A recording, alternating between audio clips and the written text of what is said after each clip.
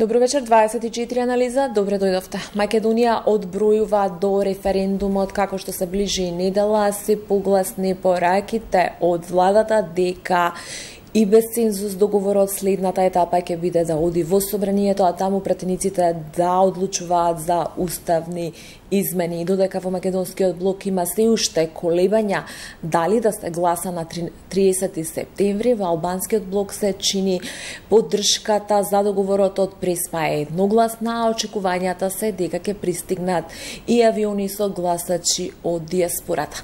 Како власта, доколку нема цензус, ќе успее да обезбеди двотретинско мнозинство за уставните измени и како ќе ги убеди делот претениците на ВМРО ДПМН да гласаат за, дали е подготвена да се пазари со амнестијата или пак ќе чекаат претениците како што велат да одлучат за европската иднина на Македонија. Дали со отварањето на Уставот ќе се отвори и Пандорината кутија за така наречените албански барања. Од Алијансата за албанците и од БЕСА веќе отворено најавуваат дека кога ќе се отвори уставот, ќе имаат свои барања кои што ќе се однесуваат на албанците и со тоа ќе условуваат нивната подршка, дали дуи ќе се придружи кон нив или пак ќе остане на позицијата дека ова прашање е над се што мисли лидерот на ДУИ кога најавува дека доколку не успее референдумот може да се случи и дестабилизација на земјава ако Македонија остане надвор од НАТО. Ова се само дел од тезите и прашањата за кои што вечерва ќе бараме одговори. Јас сум Душица Мрдја Ковачев, а вечерва гостин во 24 анализа е председателот на ДУИ Али Ахмети. Господин Ахмети, добро вечер, добре дојдовте. Ви благодарам што прифативте поканата. Добро вечер. Господин Ахмити, во оваа кампања пред овој референдум втор пат вас слушаме на македонски. Македонски, ако ме служи и добро меморијата, зборувавте и во кампањата пред изборите во 2006-та. Таа не помина добро за тогашната власт во која што бевте дели вие? Зборувате македонски заради тоа што многу ви зависи цензусот? Ви виси многу цензусот? Токму за ова мислев дали да говорам или не говорам на македонски јазик. Значи јас не сум од тие кои што не сакат да разговараат на на јазикот на своите сограѓани. Јас имам почит кон јазикот на сограѓаните Но сепак, јазикот кој што го говорам јас е многу е ограничена. Јас не постигнав да да направам некој напредок за да бидам многу сигурен. Јас не би не би направил грешки затоа што сум јавна личност. Така што се упатив со неколку зборови кои што се содржински кон јавност, значи на на соговорниците од етничка од македонска етничка заедница за да дадам една јасна порака. Дека јас немам комплекси, не патам од комплекси. Туку имам слабости при, при комуникацијата, тековната за теми кои што се тешки и за кои што требаат и барат внимание, концентрација. Господин Ахмети, ќе биде ли успешен референдумот? На многу малку денови сме пред недела, веќе се сумирани впечатоците од терен, дали над 900.000 гласачи ќе гласаат в недела? Вашето прашање е многу директно прашање. На 30 штатот, на 30 септември. Не вендосим. Ние одлучивме. Чудетарот вендосим граѓаните одлучуваат за иднината на Македонија детура јонаш Наша задача при тоа е да ние да им речеме на граѓаните. Опционин тон. За нашата опција, филозофијин тон, за нашата филозофија, визионин тон, за нашата визија, сеч пшката во тој за тоа зошто тие гласаат и зошто треба да гласаат на 30 септември. На 30 на 30 септември не се гласа за договорот, помеѓу двете страни, помеѓу нашата страна и грчката страна. На 30 септември во тоа се гласа за еднината на Македонија. на 30 штатот на 30 септември се гласа. Че Македонија да за тоа Македонија да биде постабилна. На 30 септември се гласа за Македонија да биде постабилна. На 30 На 30 септември се гласа за Македонија да биде посигурна. На 30 На 30 септември се гласа за развојот и за унапредувањето на економијата. На 30 септември се гласа за инвестициите. Затоа што до сега ние изгубивме доста време. Ке зборуваме за придобивките од договорот од Преспа, и за тоа што се Македонија ќе треба да смени со тој договор за да го направи следниот чекор кон Европската унија и НАТО. Конкретно, неколку подпрашања имам од вашиот одговор, ама првото конкретно не ми одговоривте, ке има ли цензус внедел? Јас мислам дека граѓаните во Република Македонија, македонци, албанци, турци, власи, роми, срби, влерсојн пачен, ја ценат стабилноста, мирот, безбедноста и сакаат да се одлучи да се постави еден зид, преграден зид помеѓу минатото и иднината. На 30 септември се гласа за иднината. И јас не сум оптимист, и те првак, преголем оптимист, но јас сепак сметам дека на 30 септември цензусот ќе биде постигнат. Затоа што qytetarët janë të Граѓаните се свесни, janë të përgjithshëm, се одговорни, që vendoset për fëmijët дека се одлучува за децата и за иднината на нашите деца. Votohet për се гласа за добри односи со со соседите, за се гласа за добри меѓу етнички односи. Ви беше ли вака лесно да зборувате за иднина перспективи и така натаму, ако се менуваше да речеме уставното име на Република Албанија Косово или некој од националните символи на албанците? Косово Косово нука символ контар. Нема национален символ и покрај тоа што живеат над 95% од албанците. Е кани тие имаат ни џефе, нук е дича. Да имаат еден лист или не знам или да се хартата на Косово. Да се преформулирам. Знамето на албанците под кое што сите нели албанци застанувате ако се менуваш? Дали ќе ви беше волку лесно да зборувате? На 30 септември, јас не говорам, значи говорам одговорно затоа што јас сум граѓанин на оваа држава, јас не живеам во друга држава, јас немам друга држава. На 30 септември се, се одлучува за еднината на мојата татковина. Јас говорам одговорно и се треба да зборуваме одговорно. Дали сакаме мир, стабилност и иднина? Дали го ја сака државата или сака да прават дневно политички игри, доколку се прават некои дневни политики, тогаш и јас ќе ќе го сменам курсот, односно политичкиот курс. Но сепак Ако требаше се менува знамето на албанците под кое што сите албанци застануваат, иако тоа е официјално знаме на Република Албанија, дали вака лесно ги зборувавте? Мојата држава и ваша држава не можат не губат ништо од договорот од Преспа. Përkundrazi. Ке зборуваме за Преспанскиот договор. Во Преспа добија сите страни. Ne кога ние Јеми штет, како држава сме безбедни, не, кога ние се легитимираме како држава, а ката дали има поголемо постигнување, до де денеска, јеми фирур ние сме повикани под БРМ. Чфар офендими још ќе Значи, каква навреда е тоа за граѓаните на Република Македонија? Ке беше ли лесно вака доколку се менуваше националниот символ на албанците?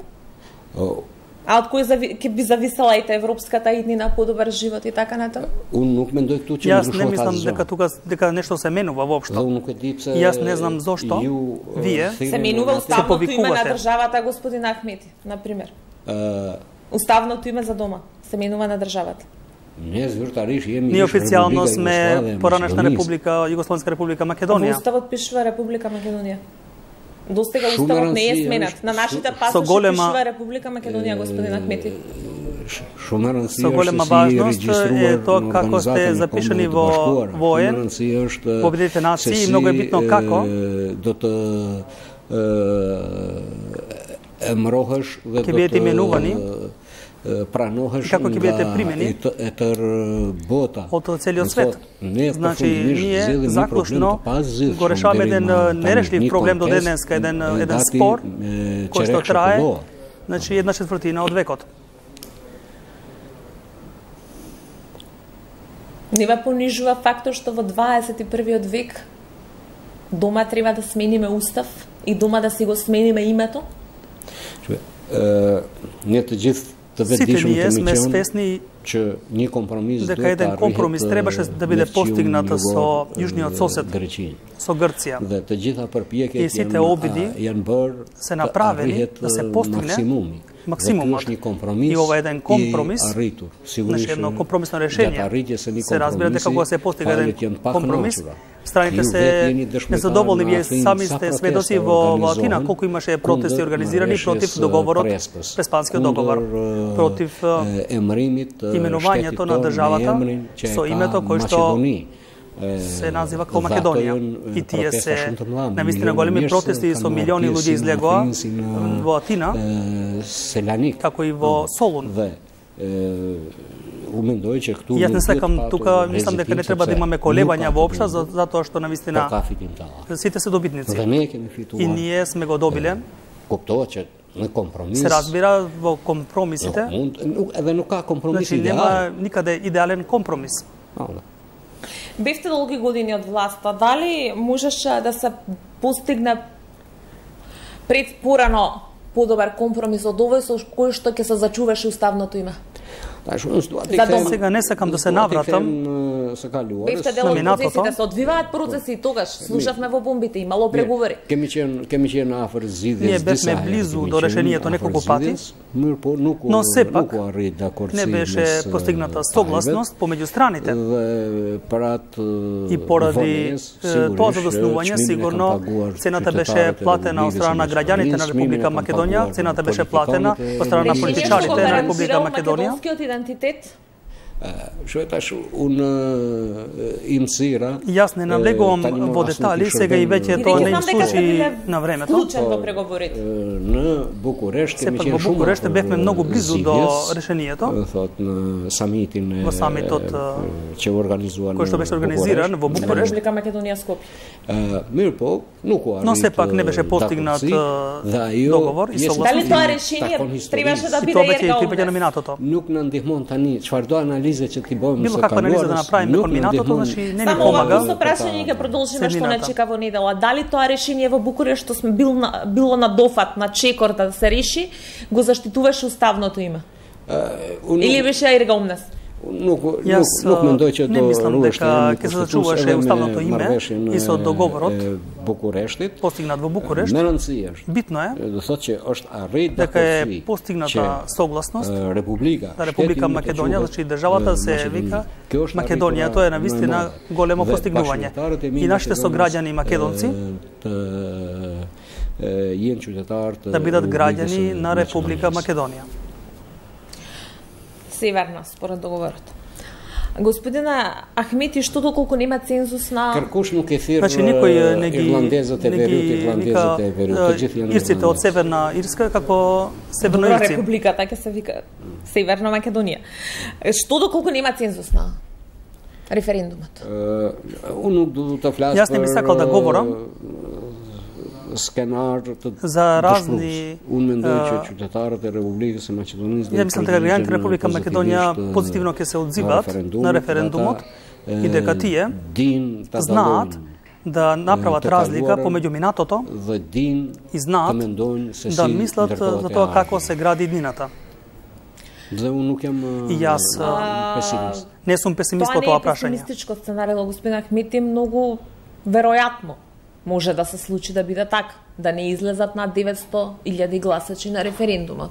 Опозицијата веќе јасно кажа, а и според законот за референдум се знае што е успешен референдум, доколку излезат 50 плюс 1 од запишаните избирачи и доколку, много, доколку мнозинството од нив гласаат за. Што доколку нема цензус? Чува.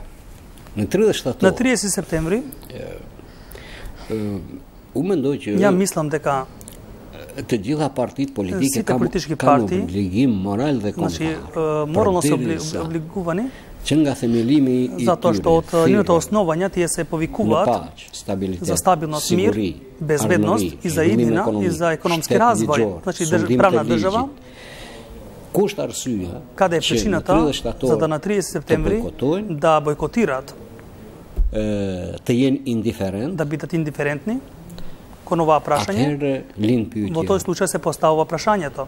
Përshpunohet. Зашто станува збор за дестабилизација на државата? Кундër пaqes. Значи тие се против мирот, кундër sigurisë, против безбедноста, кундër ardhmërisë, против иднината, кундër zhvillimit против економскиот развој. Значи треба да ги разјасниме работите на 30 септември. Дали сте на страната на прогресот или сте на страна на регресот? Или ќе се вратиме како држава назад или ќе одиме ќе чекориме напред? Една власт на 30 септември значи имате морална одговорност и национална одговорност да излезете и да гласате. Дали или ќе гласате против или или за, значи тоа е демократско право. Но сепак да бидете индиферентни, кон оваа прашање тоа не се не се оправдува. Значи работите треба да Како имаше оправдување во 2004 некои прашања да не заслужуваат одговор господин Ахмети, вие бевте дел од таа власта која што официјално бараше бојкот на референдумот во 2004 Како тогаш беше државнич демократско, а сега е антидржавно. Аз Никогаш не сум барал бојкот. Да се бојкотираат работите. Некат штет. Во оваа држава. Официјалната опозиција во 2004 на власта беше веквени веквени декларата. Треба да се повратите кон моите изјави дадени. Та атhershme. Од тоа време. Ку ун кога јас барав президент консензуал консензуален председател на државата јас абстенирав од гласањето. Зборувам за референдумот во 2004-та, територијалната да. распределба кога беше на референдум. Официјален став на тогашната владеачка карнитура беше некои прашања не заслужуваат одговор. Бојкотот беше демократско право. Сега е антидржавно. И тогаш ние не повикувавме на бојкотирање. Се смени нешто. Та, а чудетарот Значи граѓаните одлучуваат за абстиненција. Но не за бојкот. Кампања имаше господине Ахмети, некои прашања не заслужуваат одговор. Сигурно Сигурно дека јас че тогаш реализирав и тоа не беше кампања повикување дека некои прашања не заслужуваат раз одговор. Луѓето да не прифаќаат ни концепт, ни филозофија, еден концепт, една филозофија која што државата го враќа на назад. Абстиненција или бојкот е исто. Повикувавте на бојкот за председателските избори 2014. Шебе. Не ние ке ми швачил филозофија, изразивме своја филозофија и своји гледишта.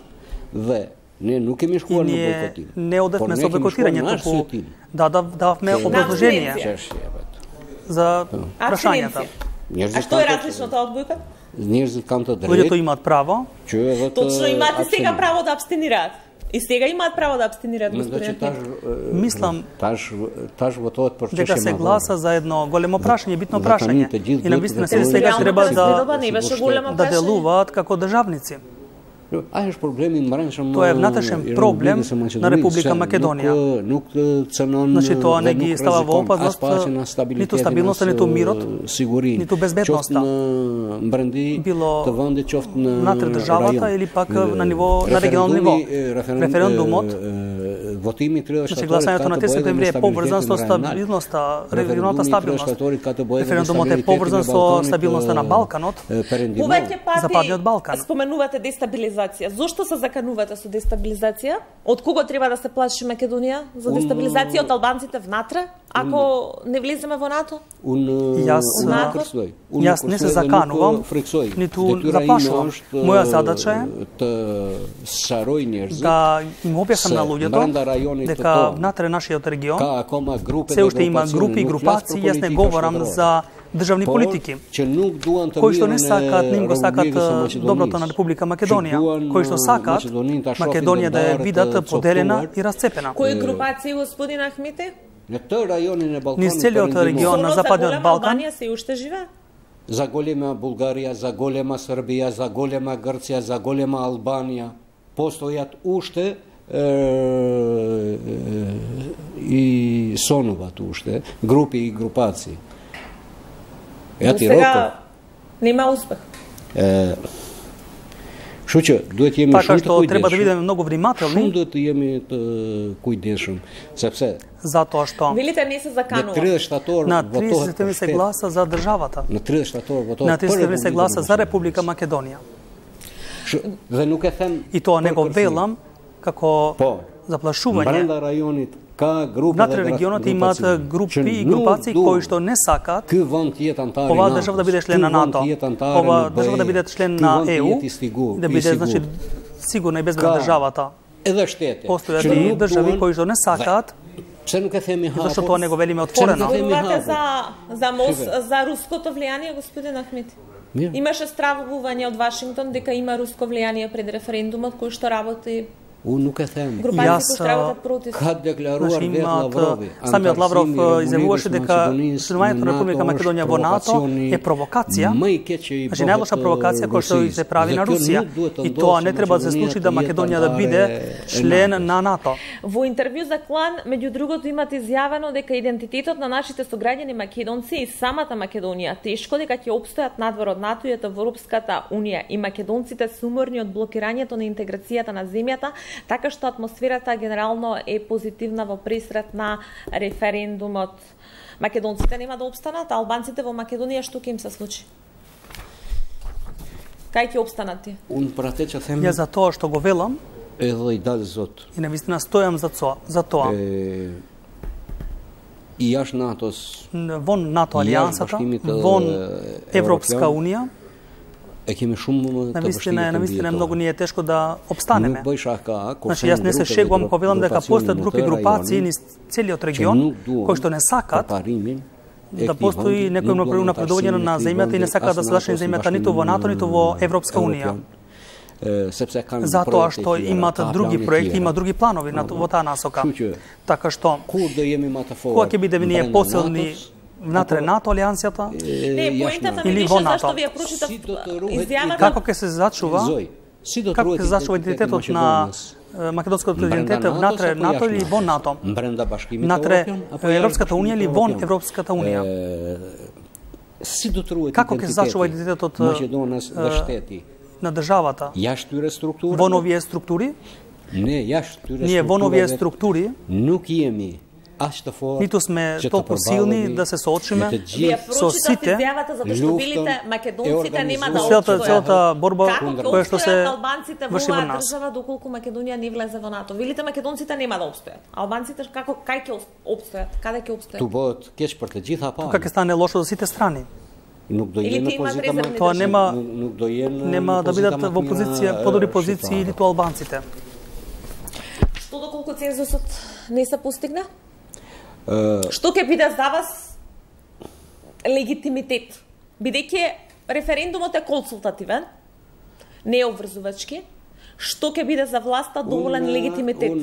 Јас не им припаѓам на кампусот, песимиставе. На песимистите. Јас сметам дека мнозинството на граѓаните Република Македонија ќе излезат на 30 септември и ќе одлучат за иднината на нивната и нивната иднина, да не бидат, да не бидам и да не претерувам во таа насока на 30 септември се гласа за иднината, на 30 септември се гласа за државата, се гласа за стабилност и мир. Вие сте лидер на партија, вие сте дел од власта, подолг временски период во Македонија, значи мора да имате и сценарио Б, доколку нема цензус, мора да размислувате и за план Б, доколку нема цензус. Од каде сте толку сигурни дека ќе се исполни цензусот? Значи, тоа е еден толку голем проект кој што не дозволува простор да се прават за македонците, Б планови. Се менува уставното име на државата. Си Како може да се зачува државата? Идентитетот на државата? Џуха. Јазикот? Дуке чен ако бидеме посилни, ако или ако останеме на едно исто место. Значи, позициите кои што ги имаме, јам позита. Се шумта форта многу силни позиции и битни позиции. Оваа држава беше посетена од далечната Америка се до Европа е афорт. Блиската Европа која што идната иднина ќе започнеме со преговорите за зашенување и покрај тоа што официјално разговорите се веќе започнати. Тоа е условен, има услови за за да започнеме. Сигурно дека сигурно дека се условени. Не, нема гаранции дека доколку договор. Има и други услови. Корупција, судство, реформи во УБК, јавна администрација и така натаму. Сигурно дека е така. Европскиот совет треба повторно да се наврати на прашањето на Македонија. Значи кој добива доколку Европа бара од нас? Значи владење на правото дали добива Европа или ние? Сигурно дека ние ќе бидеме добитници од владењето на правото. Кој ќе туку кажувам дека не е единствен, За кој реформи? Не е услов договорот од Преспа, господин Ахмети, не е условот не е единствениот услов договорот од Преспа. По се Па се вендосни Зошто некој го постави владењето на правото? Че кој добива од тоа владење? Добиваме ние, граѓаните, Европа вели, од поставете го владењето на правото, значи, војте војна против корупцијата, значи, кој добива таа та, та војна, дали Европа или ние? Значи, кој добива од зашенувањето во ЕУ? Европа добива или ние? Тоа се апсолутно услови кои што Македонија треба најпрво за самата себе да си ги исполни, а потоа за Европа и за членството во Европската Унија. Меѓутоа, датумот за старт на преговори не зависи само од договорот од Преспа. Другите услови, имаме ние гаранции дека доколку договорот помине, а овие други, услови, други услови не се исполнети, ќе почнеме преговори. Немаме. Сигурно, сигурно, сигурно дека, јас сум многу сигурен, че видиме Само дека идната година смениме уставот, почнуваме преговори. Во месец јули започнуваат и официјално преговорите за зашенување во ЕУ. Идната година ние ќе бидеме член на НАТО, алијансата. Но сепак задачите остануваат и понатаму за нас тука. Значи не доаѓа тука Европа да одлучува за владењето на правото, не нема да дојде Европа тука да да води војна против корупцијата и криминалитетот. Значи не доаѓа тука Европа да ги изврши стандардите, европските стандарди. Македонија треба да го испорача, апсолутно никој не го спори моментот. Меѓутоа, дали само со никој и Европа не вика не вели дека само договорот од Преспа и уставните измени Македонија по, по автоматизам почнува преговори. Ние исто решено име, доколку не ги исполнуваме европските стандарди следната година во јуни, кога Европскиот совет ќе се наврати на Македонија, нема да ги почнеме преговорите. Ја имаме Франција која што од субјективни причини се противи на членството. И од објективни, бидејќи вели се и уште висока корупција има. Да, Тоа се политички ставови за тоа што сега имаат своја изборна кампања. Во 2019 доколку уставот го смениме ќе почнеме преговори. Јас ве уверувам вас. Сите граѓани на Република Македонија дека ние започнуваме со преговорите за зашенување идната година во месец јули. Јас ве убедувам вас и сите граѓани на Република Македонија, значи за 15 месеци ние ќе бидеме член на НАТО алијансата, на најголемата полити, политичко војна сила во целиот свет. Но, сите значи ни ставија до знаење како вие како за вас медиумите, како и за јавноста, и за сите политички фактори во државата, значи од меѓународната заедница, значи ни кажа точно и многу јасно, гласно и тие го рекоа следново. Затворете ги прашањата и проблемите со соседите. Решете ги проблемите со соседите и се отварат преговорите за зашенување во НАТО, Алијансата и во ЕУ ставот на меѓународната заедница е дека патот во Брисел оди преку Преспа со исполнети реформи. Да ве вратам на референдумот. Вие велите дека не сакате воопшто да помислите дека цензус нема да има. А јас ве прашувам од каде сте толку сигурен дека цензусот ќе биде исполнет? Опозицијата веќе ве обвини, власта ја обвини и вас и СДСМ дека подготвува фалсификат на изборите. На референдумот се извинувам. Јас и дека такво сценарио е јасно. Ундо да ни опинион. Јас ќе дадам едно свое мислење. ме сигури ју Сигурно дека вие кините директ Имате право да се согласите или abstenon. Да абстенирате. Не, јас само прашувам. Нема зошто да се согласувам или не. Е, имате и право и да прашате. Е, Nga anketa që bëheshën Од анкетите кои што беа извршени пред парламентарните избори од 2016 година, диференца midis разликата помеѓу ВМРО и ССМ беше многу длабока и голема. Dhe kërkush nuk mendon. И никој не веруваше дека ССМ ќе ги добие изборите. Edhe optimistët më të mëdhenj. И најголемите оптимисти при тоа кишен резерва. Има своји резерви. По тоа прашање, како се случи на 2016 Тим се да моја изјави. Да ССМ да ги добие изборите. Шиве. Па не ги доби. Во број на мандати. Ама беше многу близко. Близко. ЛСДМ си коалицион како коалиција ishte shumë shumë afër. Беше многу поблиску. Ата и сите тие кои што менdonin мислеа во тоа време дека ниту теоретски не може да добие ССМ на изборите и аналист и големи аналитичари и публицисти, па дури и од меѓународна заедница се ширеа гласови по тоа прашање.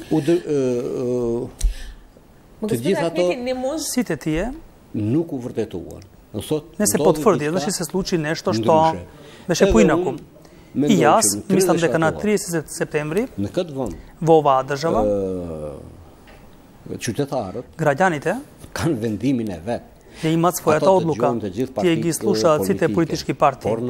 Но сепак на крај граѓаните, значи и државниците, ju e vërteta. Да им зарече, значи, вистината на 30 септември треба да се демонстрира и државноста. Шум.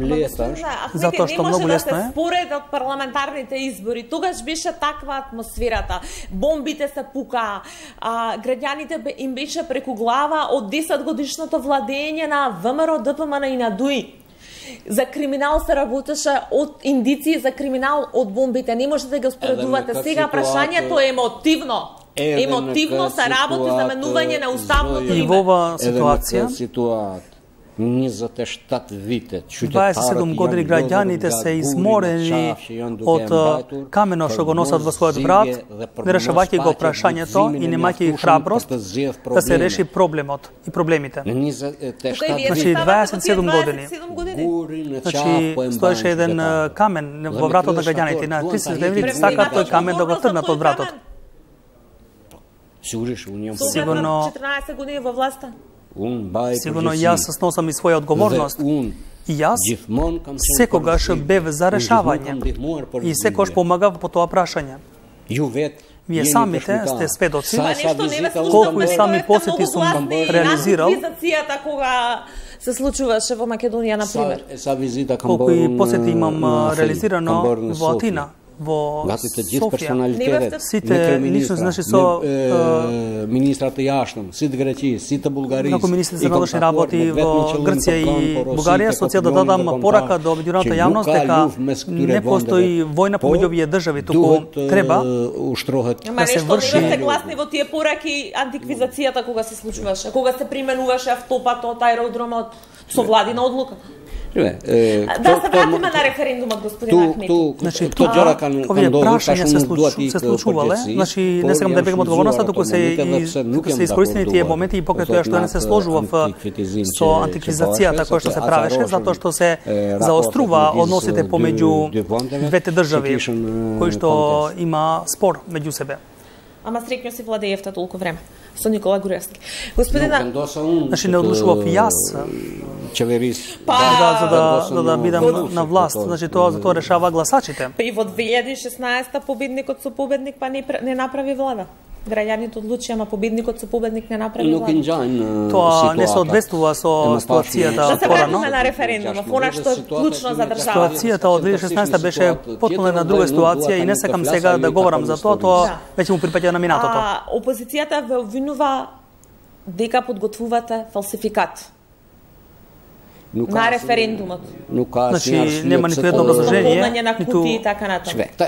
Тоа се ставови на дневните политики. И јас мислам дека и опозицијата доколку се произнесува со такви изјави дека ќе се полнат кутии и дека ќе се фалсификува гласањето, сигурно дека тие се тие се во паника затоа што ниту Во минатото памтиме ние многу примери на чудна промена на расположението. Да речеме Кога тоа се случило? Чудна промена на расположението, не велам фалсификат. А, имаше на пример многу интересна промена меѓу прв и втор круг во 99-та на председателските избори помеѓу Борис Трајковски и Тито Питковски.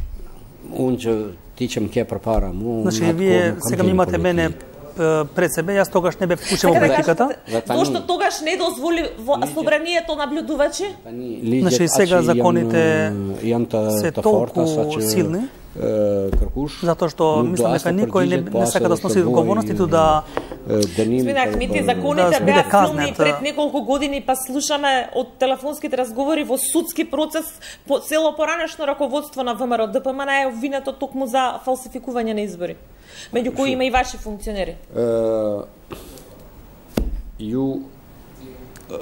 Вие прашавте за собранието зашто не дозволува наблюдувачи. Собранието е организатор и како организатор. Колку планирате честно се да биде? Значи правото е на невладините организации, на штетит. Државните институции, така што администрата публика тука се јавната администрација, државната администрација кои што се организираат по тоа прашање и се во координација со државната комисија, изборна комисија доколку кога станува збор за фалсификатите од страна на, на ДУИ, вие тврдите дека има и некои обвинети од функционерите на ДУИ, ние ниту еднаш не бегаме од, од вистината, вистината сакаме да излезе на површина затоа што ние не сме имали никаква обвинет во Титаник 3 Ама не, не е поентата дали вие сакате целата вистина или да одговараат. Поентата е вие велите сега има закони, сега е поинакво. Пред 2-3 години немало закони. Слушнавме што се се случувало. А зошто собранието има велите има меѓународни наблюдувачи, има домашни наблюдувачи, невладени организации, опција и така натаму. Што ќе недостигаш ако имаш и од собрание наблюдувачи? Зошто да нема Ја мислам дека тоа е една одлука. Со своји очи да не се увери дека е легален референдумот. Тоа е една одлука која што беше усвоена во координација на сите политички партии, каде што беа присутни сите политички партии застапени во собранието, значи не е некоја одлука, арбитрарна одлука, било од ССМ или пак од ДУИ, или пак од самиот председател на собранието, значи тоа е усвоено. Јас немам такви информации, дека не учествувале. На собранието вчера? Се видовте на митингот во Ескендербек? Не го прашав затоа што во рамките на демократија. Јас сметам, јас сметам дека председателот на парламентот Јас законишти паргадито. Вистина е измодерно подготвен, ги знае добро работите и развод на настаните и не Значи немам не е усвоена некоја арбитрарна одлука без присуството на на опозицијата на тие средби. А ги прашал Знаете дали ги прашал ВМРО ТПМН? Un pa biseduar да Јас без да знам, ве, ве, ве убедувам вас дека председателот на парламентот не прави такви грешки. Бидејќи имаш обвинување вчера од кај нив дека не се прашани и дека скандал е Нука, нука мендо. И Јас не верувам дека е така. доказ дека власта планира да го фалсификува референдумот според ВМРО ДПМН. Декларатот Значи политичките изјави и таквите обвинувања никогаш нема да бидат завршени. Колку авиони ќе дојдат во недела господине Ахмети од диаспората? Јас сметам дека има готовност. Нук мендој че до флутуроен Не верувам дека ќе пристигнат авион, голем број на авиони како што велите вие, значи да го проширувате и претерувате. Јас се сретнав со многу наши иселеници кои што беа тука присутни при овие разговори и ние очекуваме во сабота да дојдат од значи иселениците од странските држави за да гласаат. Колку Имате Ja, nuk dua ta manipuloj. Сега не сакам да манипулирам по тоа прашање me numra, со бројки и со шифри. Кој ги плаќа- Значи сепак кој го плаќа нивното доаѓање? Авионите, организацијата? Thot, shumica kanë Значи резервуар големиот број се имат резервирано автобуси, Е, Сипас информатave според që unë информациите кои што јас ги поседувам. Të ta dim një një të vërtetë. И треба да знаеме mëdha вистина, затоа што еден голем дел се pensionistat, пензионери. ë, kanë shprehur shumë ти gatishmëri kanë голема bërë готовност организимите И, veta për ta. и направиле своите организации за да пристигнат тука. На собствен трошок? Sigurisht. Сигурно да. Не ми одговоривте што ќе значи легитимитет доволен за власта да ја, послуша консултацијата од граѓаните доколку нема цензус? Mendoj Јас сметам дека që Dhe është bindja и ime навистина тоа е мое убедување. Ndikohem и не сакам да бидам под влијание на, на другите луѓе да припаѓам да се поставам на во таа група на песимистите. Që Повторно ќе повторам дека цензусот arrihet, ќе биде постигнат, që po kaloj но еве сега за еден момент ќе преминам pjesën на тој po хипотетичкиот дел кој што вие сега го поставувате и покренувате како прашање. edhe nëse nuk И доколку не се постигне цензусот, повторно, поголемиот дел, dalin значи ќе излезат да 30 на 30 септември. Dhe Тоа за опозицијата не е доволно за да гласа за уставни измени.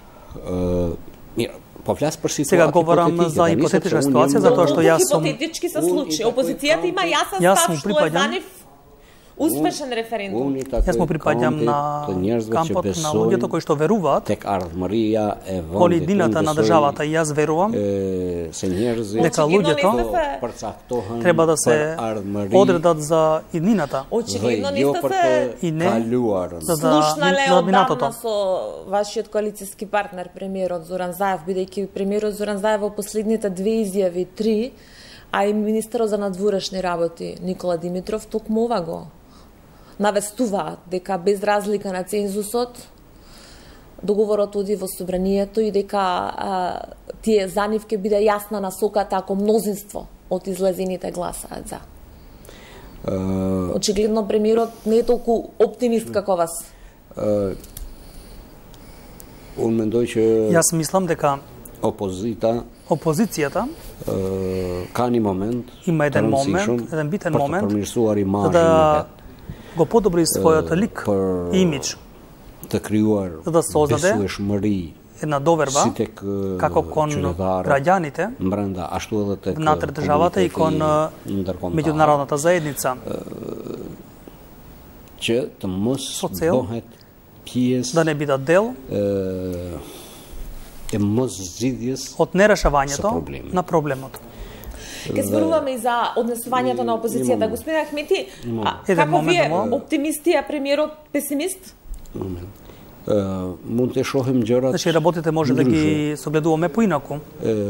i shoh Јас ги гледам од е, моја перспектива. Unë edhe unë Или од takohem поддршката на албанскиот блок, која што е неминовна за разлика од македонскиот блок. unë takohem Јас се среќавам и со unë македонци, takohem јас се среќавам edhe me profesor И со универзитетски професори, јас се среќавам и со граѓаните. Значи македонци, не говорам за албанци, Unë од- shoh кај кои јас гледам, Како јас гледам на вистина една подготвеност. gatishmëri, Гледам подготвеност, që do значи тие не дека само ќе гласаат, туку и ќе помагаат и во и се многу активни. 30 Зошто не На одржавте 30 ни септември една ни еден митинг да излезат. македонска доминантна средина? Ние ги делевме задачи затоа што ова е заеднички фронт, значи целта е иста, патиштата се поинакви. Rrugë Но сепак овие патишта në desta- не терат të кон една иста дестинација. И ние дека имаме своја стратегија. контраефективно ќе биде апропо идентитетот на македонците и нивното обстојување. Ние, јас реков, патиштата се поинакви, додека i целта е иста. На иста дестинација Пристигнуваме и така, така гледаме успехот да биде појак и посигурен. Како до 81 глас? Mendoj që jam islam dhe kam. do ketë deputet që ima protezici koji što bi cena situacijete pravilno dhe do të përcaktohen mëri, do të za jedna idnina për shtetë sovran za jedna suverena država ke se opredelot për marrëdhëniet mira za dobri odnosi znači so so për znači za vladanje tona pravo tom... thjesht ardhmëri значи, dhe unë mendoj просто за идината на Македонија Тоа сметам дека Тоа впечаток ке имате комуникација со пратениците на ВМРО ДПМН ги знаете дел со години се пратеници вие заедно бивте во власт во мнозинството и вие сте пратеник Е дрета јуај си значи, да вашето право како новинар е да прошувате, мојот право е да дадам еден одговор. Но не детално детален одговор. Комуницирате ли со дел од пратениците на ВМРО ДПМН? Сигурно дека јас комуницирам со нив. Уставните измени референдумот? Јас комуницирам сите прашања со сите политички партии, без разлика на од која заедница тие припаѓаат. И јас толку може да одговорам кон ова прашање. Солидарно ДПМН Христијан Мицковски, побаравте ли тивка поддршка? Унијам такува, Јас се сретнав, комуницирам со представителот на ВМРО. Апропо референдумот.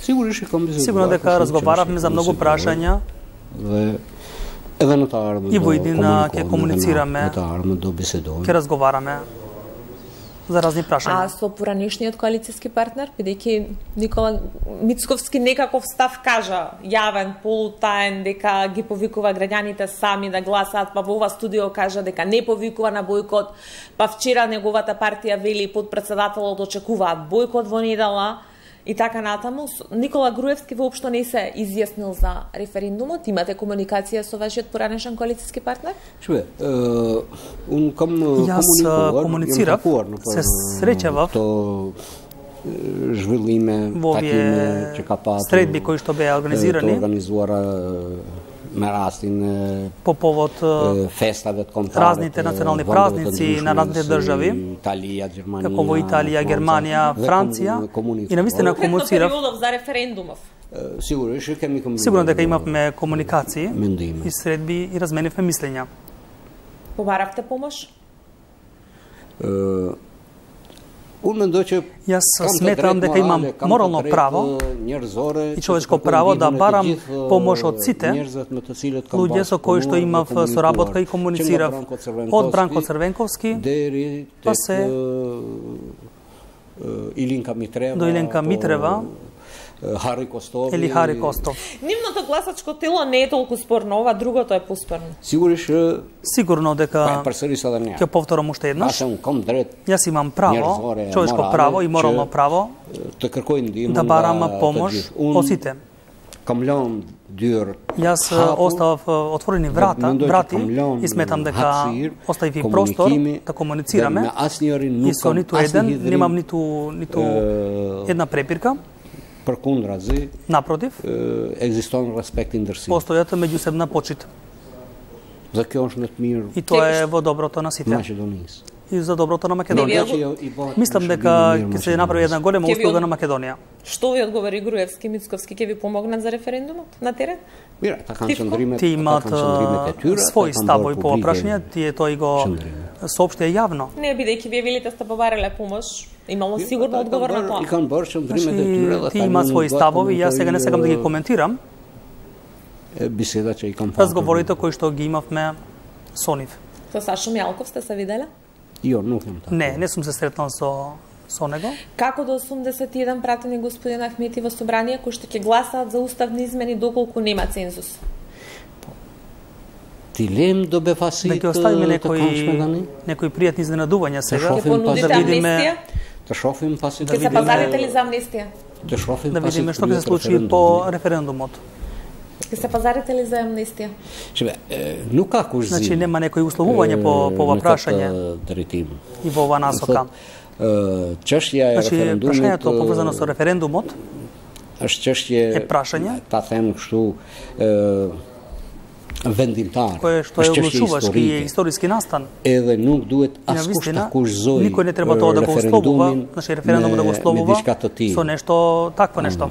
Ас Македонија, ниту македонците, ниту албанците, значи референдумот не треба да биде условен и условуван, затоа што е историски момент и момент кој што не се повторува. На секое јавно на секој јавен настап на вашиот актуелен коалицијски партнер Зоран Заев, заменичката во владата Радмила Шекеринска, на секој нивен јавен настап не пропуштаа да кажат дека единствено што им е битно на Христијан Мицковски, на Никола Груевски е да се спазарат за амнестија. Велите имате контакти со Груевски, дали Груевски ви побера амнестија? Jo, nuk, не. ka kërkuar Значи, не, не бараше Никола Груевски, ниту Христијан Мицковски од мене, ниту амнестија, ниту некоја друга решителна околност. Христијан Мицковски бараше да се одлучи правото и да се употреба стандард, двојните стандарди, да не се употреба двојните стандарди преку изборниот процес. И Никола Груевски сото ми го има речено дека треба да биде да се воспостави по правото, доколку изврши некој криминалитет, доколку изврши нешто во спротивно со законите, значи тие ќе одговарат пред правдата и не сакат реваншизам и двојни стандарди да се употребат во оваа држава. Половина месец увини за политички прогон и политичко апсење, на пример. Велите Груевски ви кажал дека сака правда. Јас велам пред завршницата на судскиот процес или пред апела... жалбата во апелација, Никола Груевски увини дека актуелната влада, во која што сте вие, го апси политички. Односно, судските одлуки се со политички диктат. Јас ви реков, тоа што мене ми го имаат речено, и тоа е целата работа. Му прешат ли на Зоран Заев овие ваши комуникации со Груевски, со Мицковски, со ВМРО? Јас не се среќавам. Ви верували? Значи, скришно. Значи, јас не се среќавам. Не флертувате со ВМРО ДПМН, тајно не соработувате? Јас не припаѓам на такви сценарија. Јас не работам со двојни стандарди. Значи Зоран Заев. Знае дека јас комуницирам. и комуницирам со Заев. за комуникациите што ги имам со станатите. Тоа го знае. Знаат и тие што владеа порано со мене pa pashpirit nuk nuk jasë zat grëp në delë vomin e... Shehur razi, po komplote, nuk bëj. Nëshi... Po, po thot, e tëra është Cilata, rabota e transparentna? Midis partnerëve po të koalicionit, po edhe partneri. me opozitit. No po me gju opozicija ta. Isë të rapote gimu ima mreshën e Nazaev, дека треба да се сретнат со било кого сака, за кој смета дека е за доброто на државата. Што се во добробит на процесот, и нито има потреба Саев да добие некоја деба дозвола од мене, и јас добијав дозвола од него за да работиме за доброто на државата, со цел да работиме во насока на стабилноста помеѓу политичките партии во државата. Тука правиме пауза за реклами, па се враќаме со албанските барања околу отварање на уставот. Добро дојдовте назад во студиото на 24 анализа интервју со председателот на ДУИ Али Ахмети. Господин Ахмети, не сакате да откриете детали како ќе ги убедите дел од претениците на ВМРО ДПМН да гласаат за уставните измени? Меѓутоа, како ќе ги убедите и дали воопшто ќе се потрудите да ги убедите дел од партиите на албанците да се откажат од своите условувања за уставните измени? Алијансата на албанците веќе отворено најави дека ќе има нивни барања за уставот и дека ќе услови поддршката за уставните измени околу името, своји барања најавуваат и од Бесана Билолка сами. Shumë më herët në ato qëndrimet e përgjithme, kushzoj shumë moment ставови, значи да условуваш еден таков битен момент, не и е пропонувар не е разработен став ниту политички аспект ниту од национален карактер. Значи на 30 дни се гласа за едно прашање. Во Република Македонија сега и 17 години во минатото, значи на како главно прашање на агентата беше рамковниот договор. И сите, целата меѓународна заедница и сите политички сили во, во земјата тврде дека патот кон НАТО и кон ЕУ поминува низ низ рамковниот договор и делот, негативниот дел е веќе завршен. Од рамковниот договор. Сега е преостанат еден мал дел.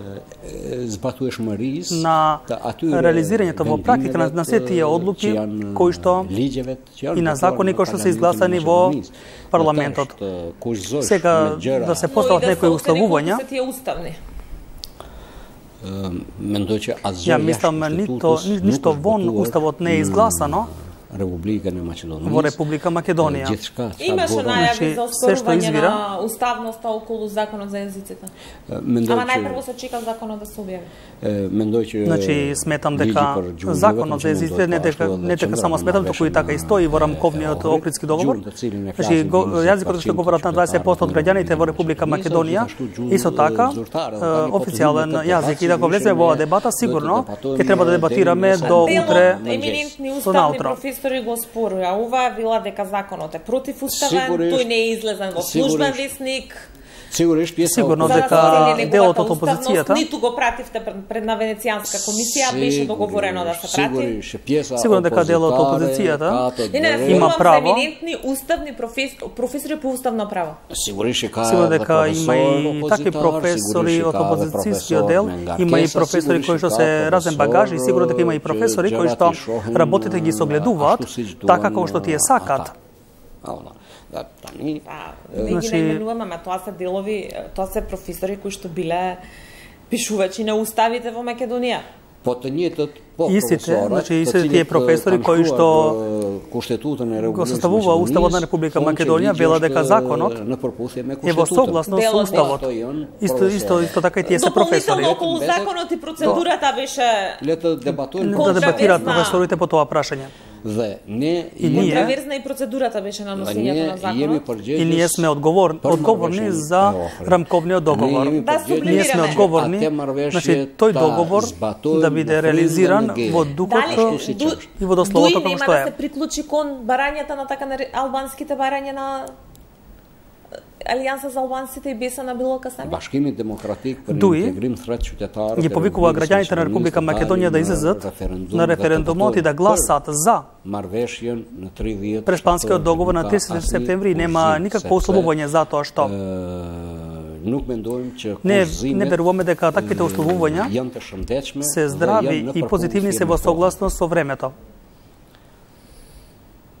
Значи, вашата подршка за уставните измени нема да биде условена никако? Е, но како зи? Нема условување по тоа прашање. Како ќе ги убедите села референдум. и сами да се откажат? А та дует две Тие треба самите да бидат убедени, затоа што на 30 февруари се гласа за еден договор. На 30 на 30 се гласа договорот кој што е постигнат помеѓу Македонија и Грција.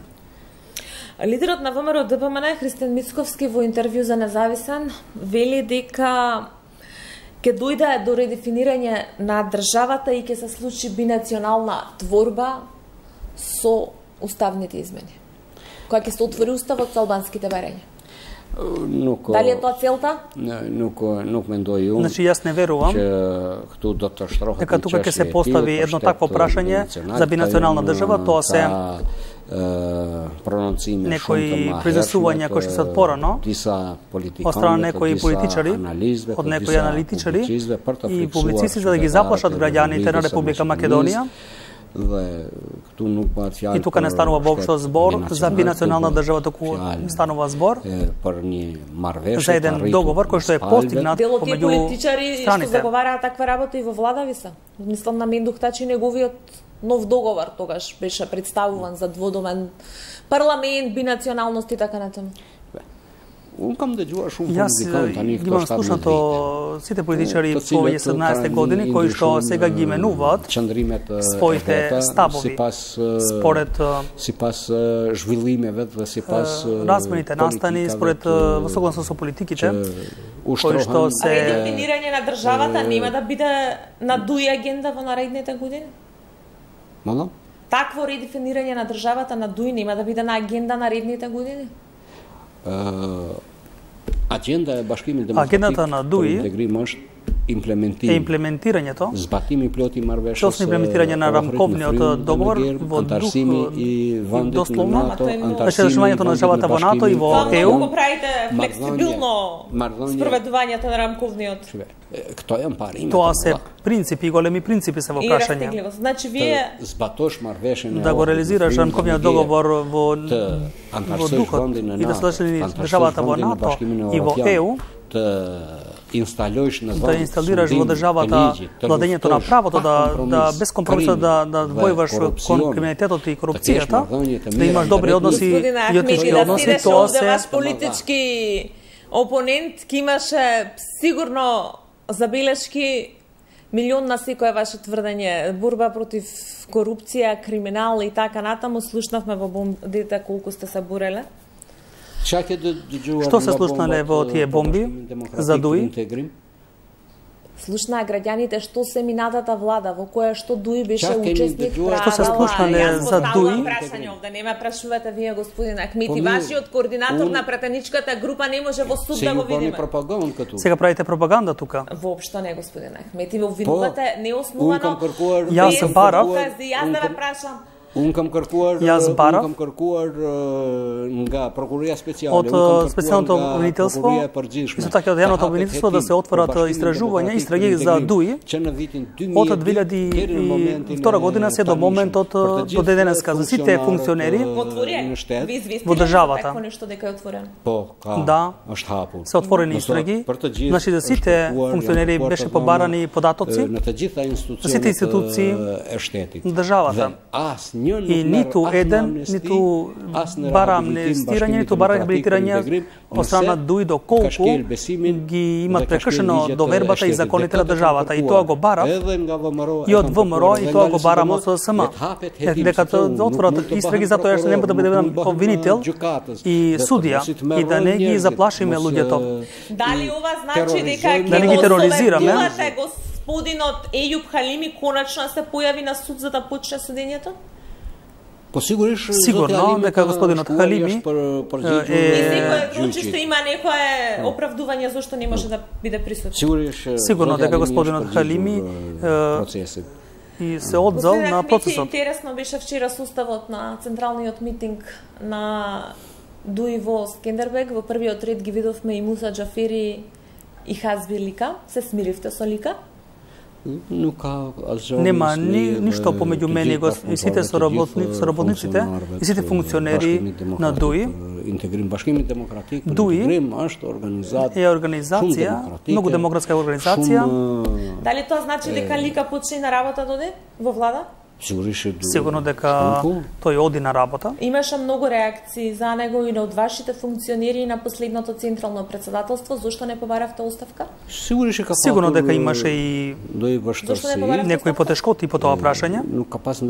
Немаше некое силно образложение за да се бара такво нешто. Муза Джафири го рехабилитиравте политички? Дали тоа значеше вчерашното негово седнување во префект? Муса Джафери е рехабилитиран затоа што не изврши некое кривично дело. Се дистанцираше тој, партијата еден период се, се сеќаваме на преку ноќ менување на функционери на ДУИ и така натаму. А тоа беа со една единствена цел да се даде една порака пороси се дека ние не сме роб ние рефит цактува робови на еден определен круг туку тоа дугура. и правиме промените во висинско време. моментите беа такви со цел да се даде една порака до јавноста. Има парламентарни избори заедно со председателските? Тоа ќе зависи од разговорите. Влешиме. Од проценките кои што ќе се направат во ситуацијите, јас не можам сега да да речем дали ќе има ќе има предизборни избори, сигурно за сите опции се отворени. и се дискутабилни. Ке одите со еден кандидат со Зоран Заев на председателски избори? Чендрими Башкими демократик për integrim ka qenë беше. Qenë dhe mbetet и останува. Duhet на ова држава е потребен. kryetar konsenzual. консензуален председател. Ако не прифати Заев, ќе ги бойкотирате и следните председателски избори? Нук не нук дој бойкотуваме. Ние нема да ги бойкотираме тие избори. Пор не до прачесим опционен тоа. Ќе ги представиме нашите опции по тоа прашање. Значи ги излезате со кандидат? Може да излеземе. Значи не има по автоматизам да биде исто како во 2014. Таа што е шофен жари. Сега ќе видиме настаните како ќе се развијат. Веќе се вртат дел од можни кандидати, колку ви се прифатливи Пендаровски, Димитров, Шекеринска? А та не.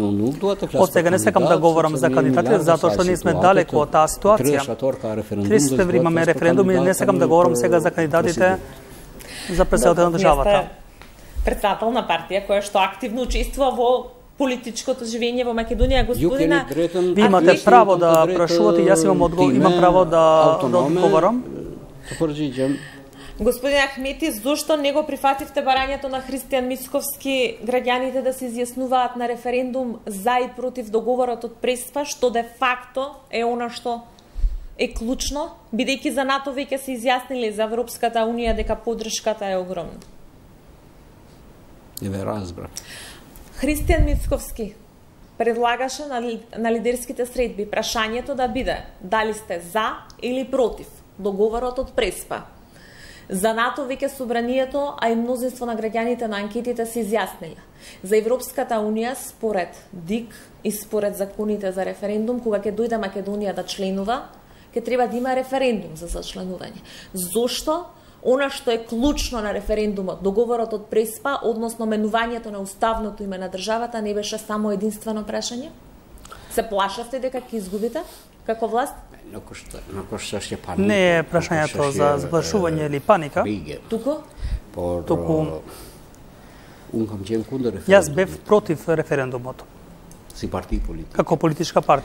dhe kam shuar problemin. I jasë problemat gopos të vivë? Takimet zgjeruara. Në përshirën i stretbi? Udhëheqës së rëkovocë foto? Liderët politikë. Në politiçkit e lideri? Unë po përboj një hapë. I jasë... Dhe po tërhiqim nga...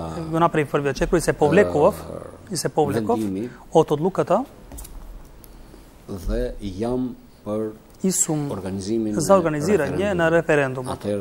Togaš i vije gospodine Kristijan Miskovski edhe jedan čekor со цел прашањето да биде повоопштено и појасно затоа што граѓаните не решаваат за ЕУ и за НАТО. Мнозинството се за ЕУ и за НАТО со години наназад. Де факто решаваат дали сакаат или не подршка промена на уставното име, да се викаме Република Северна Македонија. Но кој што се. Значи не не е тајна. Но кој што се Не е воопшто тајна. Јас сакам да бидам искрен пред сите граѓани на Република Македонија. Значи и врабците знаат дека Република Македонија не можела да се зачлени во НАТО, во ЕУ, без да се реши прашањето и спорот поврзано со Грција. Значи, дефинитивно, ова, овој договор е веќе постигнат и јас сум свесен дека нема компромис кој што ќе ги устречи сите страни. Двете страни, значи, кои што се опатени со овие преговори, остануваат незадоволни. Јас тоа го реков и во почетокот. Значи, со милиони грци протестираат против овој договор тука има и незадоволни со овој договор што на вистина е на вистина е природно. Но одговорноста да се ја земат политичарите во собранието без да ги манипулираат граѓаните со ваква прашања како што вели опозицијата? unë qëndrimet e mirë mojte stavovi, politike si parti, politički stavovi, znači ko partija, gi obznaniv, brenda takimeve pritije sredbi so političkite parti, no se pak e strani, dvete pogolemi partije, od makedonski od blok, se povikuva cekuvesh v organiziranje na referendumot. I ja sam napravio jedan čekov, se povlekov. Ма не е проблемот референдумот, проблемот е зашто прашањето не прифативте да биде еднозначно како што вели опозицијата, опозицијата како што инсистираше опозицијата. Мен мен мен дој попикари Јас сметам, е... односно токму Или Та ние моментот моментот се... моментот рансишме пикари. Моменти, значи токму додека пречките беа за решавањето на овој проблем, да не се зашали на дешавата во НАТО и во ЕУ, облигуваш значи, че вендосиш си задолжен тоа да го поставиш како прашање дали сте за членувањето на државата во НАТО и во ЕО. Со припаќањето на нови договор. Но се колебаат според анкетите дали се и заменување на уставното име. Шубе, До пред неколку месеци премиерот Заев пред да се постигне договорот велеше дека не се преговара за промена на уставното име. Јас не сакам сега да бај истории като да правам некоја историја тука. Но организацијата Ние во организацијата на Обединетите нации фигурираме ме штојцем иш Република Југославија Со кратенката и потреба на името, на новото име? Во секоја конференција и во Брисел и во Вашингтон и во секоја држава каде што и да одите, не ние настапуваме значи се употребава кратенката ИРМ. Ама никој не зборува за меѓународното ново име. Меѓутоа дома ние сме Македонија. Па кош, кош таку зон. Значи кој ме условува, ние ќе се викаме така како што што се насловуваме и викаме. И во самиот договор е опфатан македонскиот јазик, македонскиот народ. И граѓани на Република Северна Македонија. Uh, Собрание на Република Северна Македонија. Uh, он мен дојче тоа Јас сметам дека тоа не го загрозува, не загрозува материјата, односно субстанцијата на овој договор. Како ќе ги убедите граѓаните во тоа? Јас сметам дека граѓаните динта знаат. Очекувате ли немири господин Ахметов? Како? Да ескалира состојбата? Па не уну. Рековте дека Македонија може да биде мета на многу групации, руското влијание го споминавме. Ош факт че постои факт дека ова опасност постои. Un mendoj që ky rrezik jam smetom uzmeni може да не се случи ескалација? Jo për të Не за да ги заплашам, меѓутоа јас сметам дека ова опасност постои демне како таква доколку ние. Nuk haprovem për не чекориме кон напред.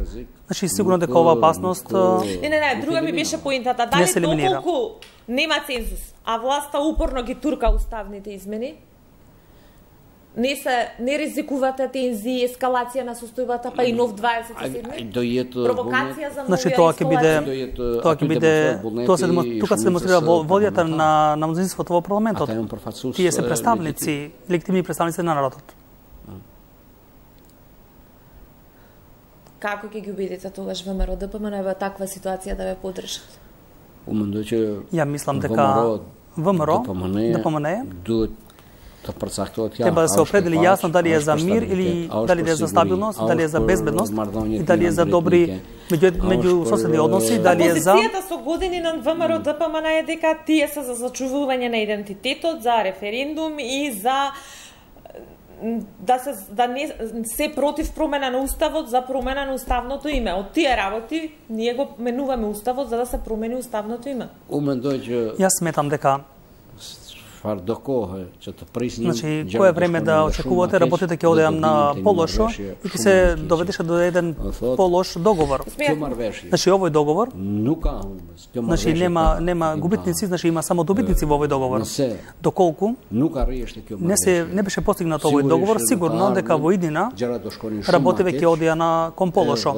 И дека не верувам дека ќе има некој кој што ќе може да предвиди за тоа што би можело да се случи со нашата држава. И целата меѓународна заедница не може да биде секогаш дежурнен Ова се закани, господин. За регионот. Ова се закани веќе. Овие не се не се закани воопшто. Тоа се процеси транцишме битни процеси или треба да ги помогнеш тие процеси да бидеш начело на овие процеси или пак да преминеш во другата страна и да речете дека јас сум да оваа земја да се врати во минатото.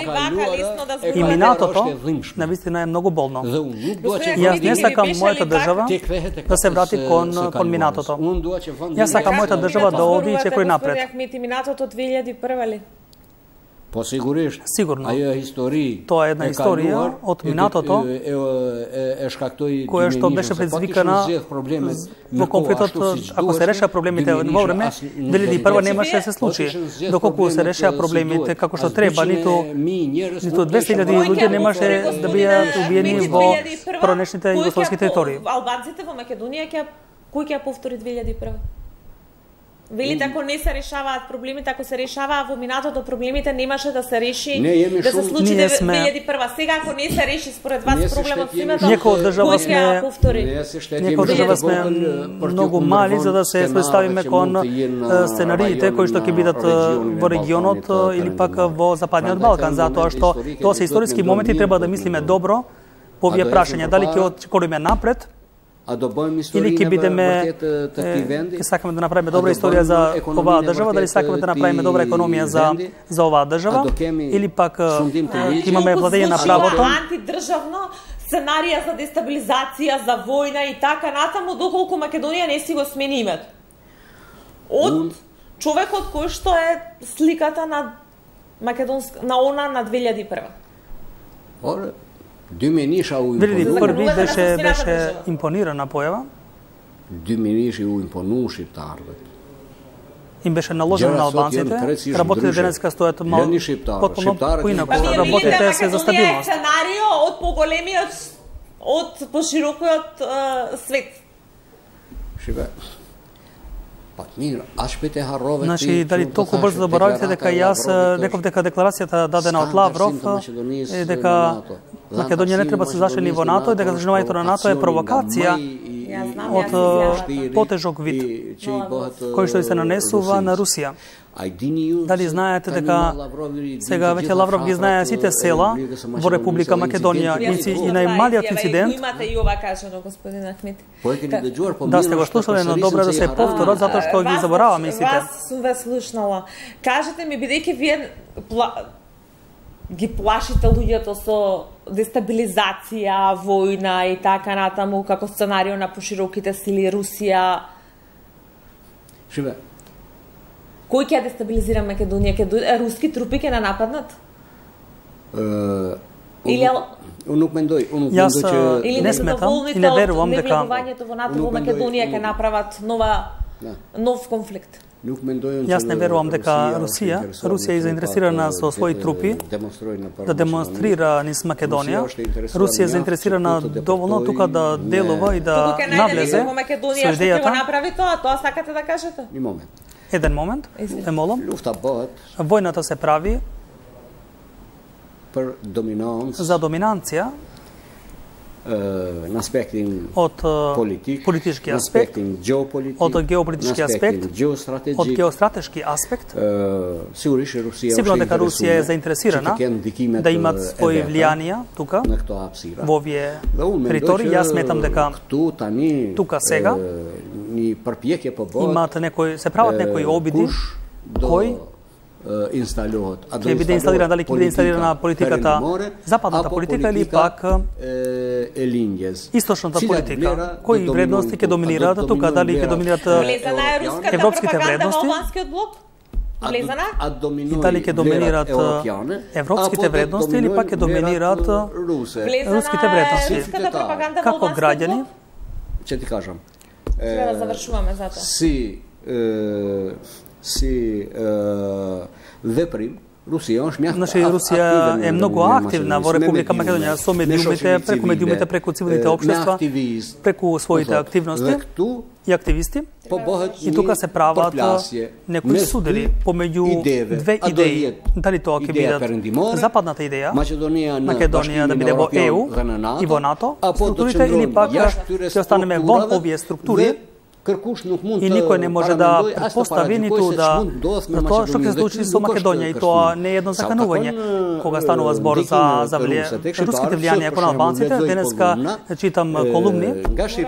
Од, од албанци пишувани. значи денеска ги читам тие колумни каде што се велат кој што ќе гласи од албанците. Значи тој албанци ќе гласи на 30 30 септември за овој договор, а është Славо Тој е Славо Македонец и тој не е албанец. Кој е албанец, значи не треба да излезе да гласа на 30 септември. националистичките албански групации него или на Ја ја мерни, мерни Само земете слободно, читате ги овие колуми. Тој што ќе гласа, повеќе личи на националистичките албански групации.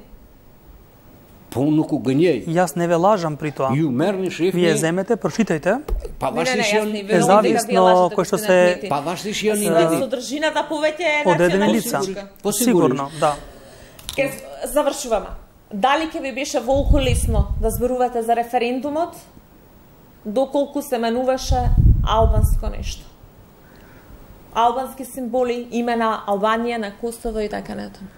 Ете, доколку се менуваш албанското знаме. Вие говорите влезни прни ситуација за една параџукуар. Хипотетичка ситуација.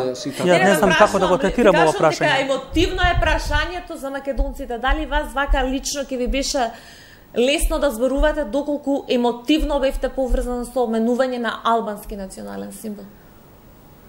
Па че тој мор без друго, затоа што сега веќе инсистирате значи во Косово, Не, на албанското знаме, на пример, она знаме кое што сите албанци застануваат под него, иако е на Република Албанија. Ќе бе Косово, мајма. Ќе го земам Косово како пример.